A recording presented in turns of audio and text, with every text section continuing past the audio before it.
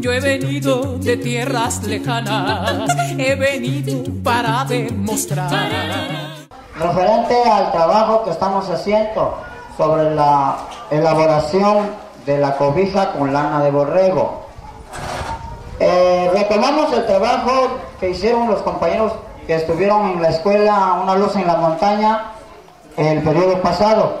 ¿Qué tipo de técnicas e instrumentos utilizaron para indagar? Y como todo tipo de investigación, ocupamos la observación, ocupamos la entrevista guiada, estructurada, verbal, más nos fuimos a la verbal. Nos preguntaba el maestro que estuvo con nosotros que si esta técnica este, fue en lengua indígena, le dijimos que sí como que no nos creía, pero le dijimos que sí, que estábamos, están, en ese centro están varios maestros nativos. Los que no somos nativos vamos aprendiendo la, lengua de la comunidad. Eh, no lo estructuramos bien, aquí vamos a reconocer esto que nos faltó. Nos faltó tiempo o, o responsabilidad, pero no lo estructuramos bien. Diario de campo, nos fuimos tenemos el diario de campo, fuimos haciendo anotación. La participación fue directa y colectiva.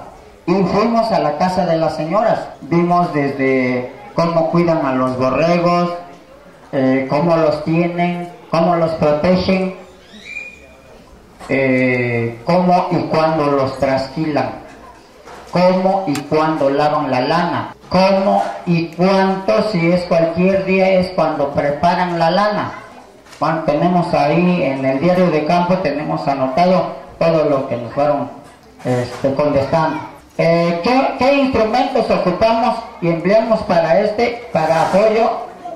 ocupamos la videocámara, filmando, ocupamos la cámara fotográfica, ocupamos la grabadora para también este, capturar las palabras que decían las señoras. Hicimos preguntas mediante, preguntas mediante el diálogo en lengua mixteca, es la lengua que dominamos en esta zona escolar. ¿Cómo utilizábamos los instrumentos como material de apoyo? ¿De apoyo para qué? Para capturar toda, toda la información Sabemos que nos falta, porque aquí nos hicieron falta la formulación de preguntas, aunque, así como dije al principio, el periodo pasado ya los compañeros avanzaron y ya existen estas preguntas, pues ya tenemos estas preguntas contestadas también. ¿Desde qué perspectiva lo vieron? ¿Desde qué perspectiva vimos nosotros esto? Desde donde estaban, desde, y viste también desde donde estaban parados. Desde donde estábamos parados, estábamos cerca de las actividades de las señoras. Estábamos viendo cuando trasquilaron al borrego. Inclusive algunas compañeras o algunos compañeros participaron en esta actividad de la de trasquilar al borrego. ¿Para, ¿Para qué? ¿Desde qué perspectiva vemos esto nosotros? Desde una perspectiva de rescate de los conocimientos comunitarios.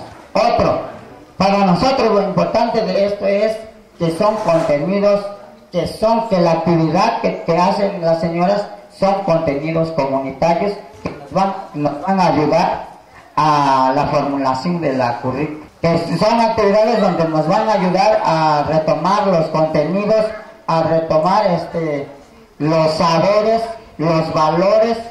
Entonces son actividades donde convienen esto. ¿Para qué?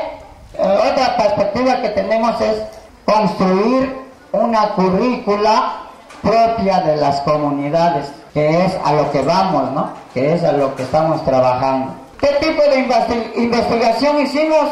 Para nosotros es una investigación de acción participativa, pero parcializada.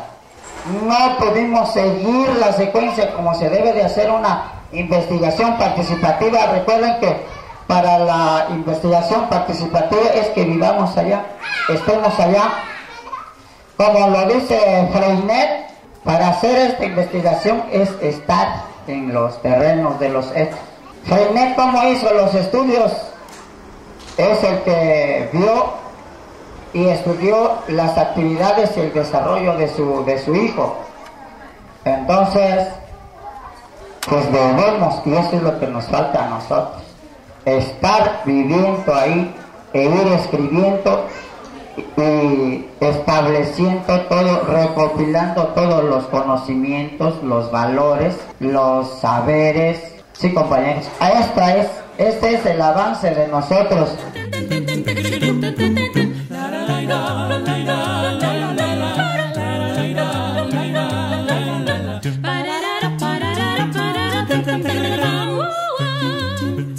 Todos vamos llorando un cariño, todos vamos llorando un amor. En cada alma se esconde una pena y en cada pecho se esconde un dolor.